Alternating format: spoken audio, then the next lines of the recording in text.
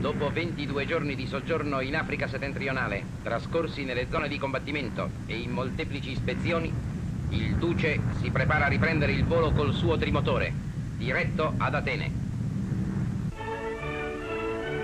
Il Duce esce dal comando superiore italiano in Atene.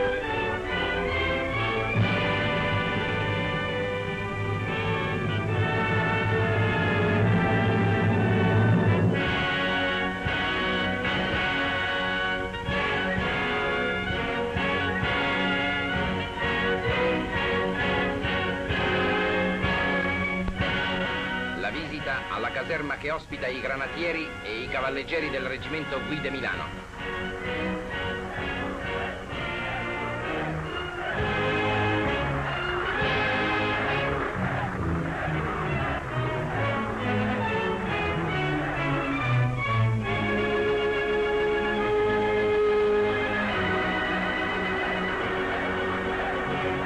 Il Duce sull'Acropoli.